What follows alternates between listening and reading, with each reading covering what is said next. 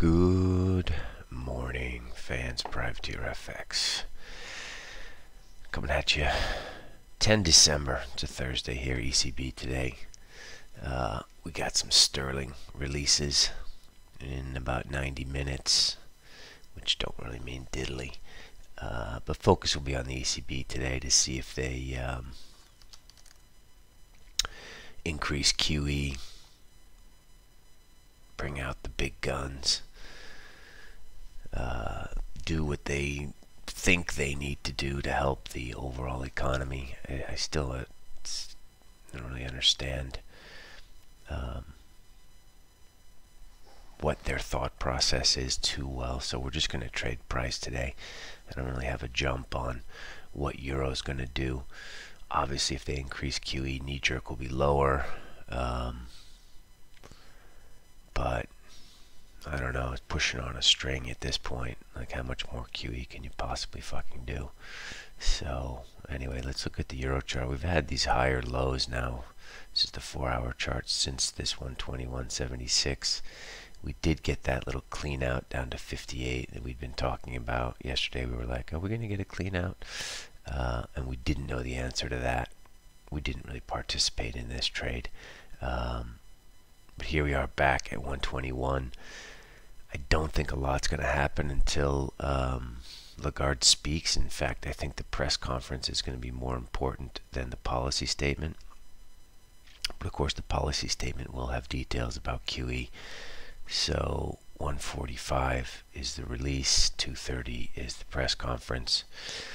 On your toes. Um, let's of course see where Eurodollar is going into that release, uh, and then we can get a better grip on what the trade is going to be.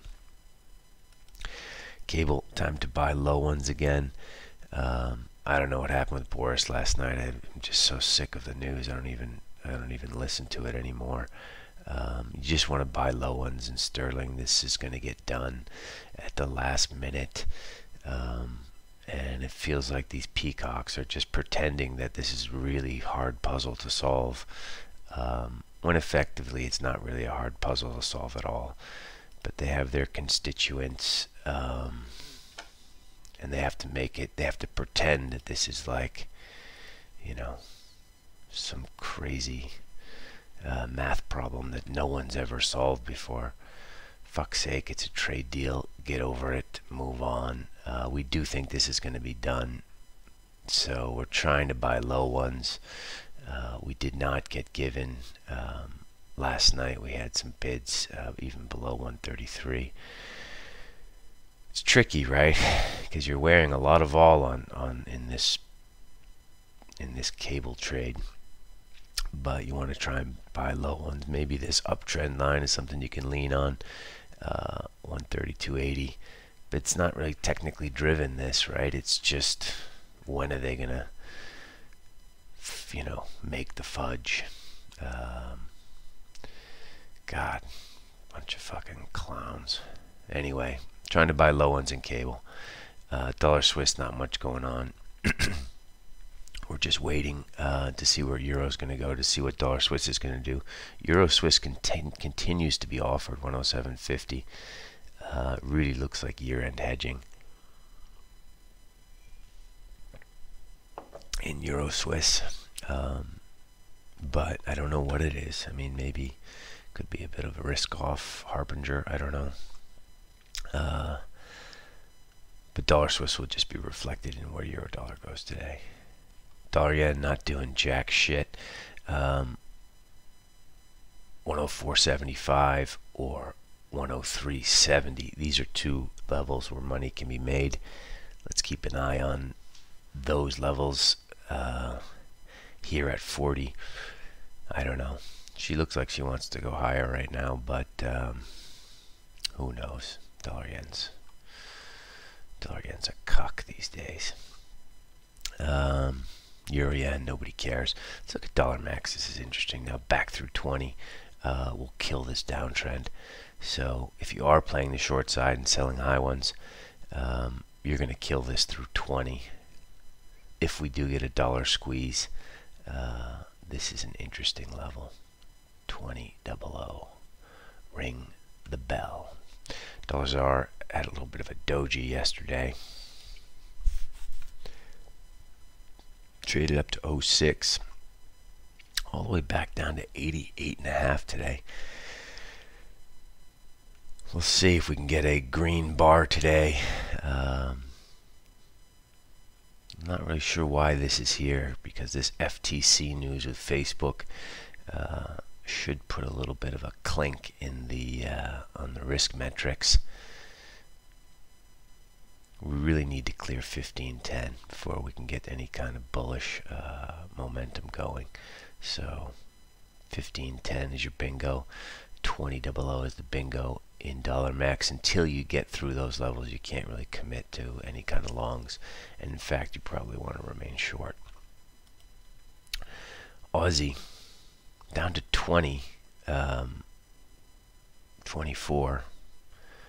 Weird, right? We bought through 50 yesterday. We're playing on the long side. Um, all the way down to 24 and now back up to 75. That's a tricky. Same same thing as here, right? Big down and big up. Big up, big down, big up again. Kind of reminds me of the cable chart. What does that mean when you see a chart like this? It's like a battle, right? You got conviction shorts fighting conviction longs. Um, the longs are winning. It's not really the most useful line. But again, gotta keep your eye on this ES chart um, to see what happens. This is your this is your bang FTC moment. Took us down through this 90 pivot all the way down to 58. Don't want to get like all crazy bearish. Um, it's unclear what the FTC is going to do to Facebook. Are they going to have to divest uh, Instagram and, and uh, WhatsApp? Uh, I don't know. Uh, I'm certainly not rooting for Facebook. I don't belong to Facebook. I despise, I despise everything that Facebook does and is. Um, so in that sense, I don't. It's not like I'm happy, but certainly not sad. Uh, let's put it that way. Is this going to be? Um, is this going to get ahead of steam? Is this going to create worries? I don't know. We got the Airbnb IPO today. That should have some um, creative, more of a buoyant move mood. Uh, I would say that if it goes badly, which I don't, I don't think it will, um, that would be a pretty big negative. That would surprise a lot of people. Um, so let's watch this uh, Airbnb IPO.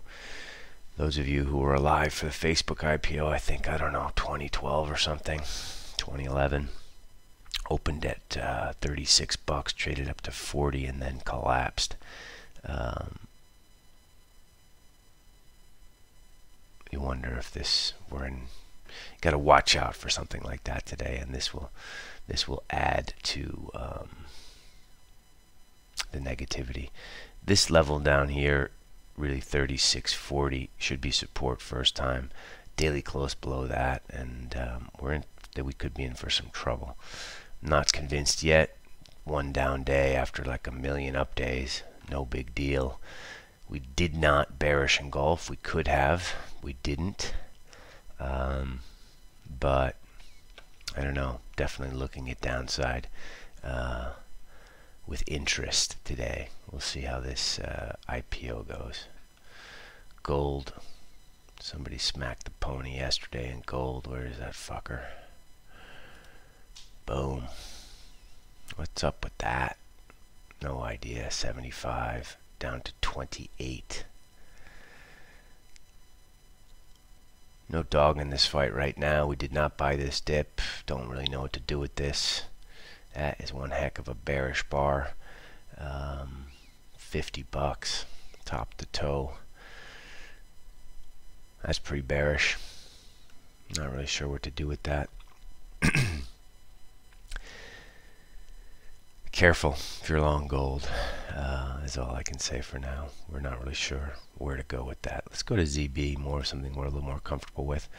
Uh, still selling high ones here. Uh, we like rates higher. waiting for this uh, possible break of 176 uh, and possible break of 1% maybe at the end of the year here. Um, that's of interest to us. And finally, Bitcoin uh, down to 17.6. We talked about this Mount Gox news. This looks like she's turning a little bit, but um, you know, you want to just stay core long. You've reduced up here surely between between 18 and 20,000.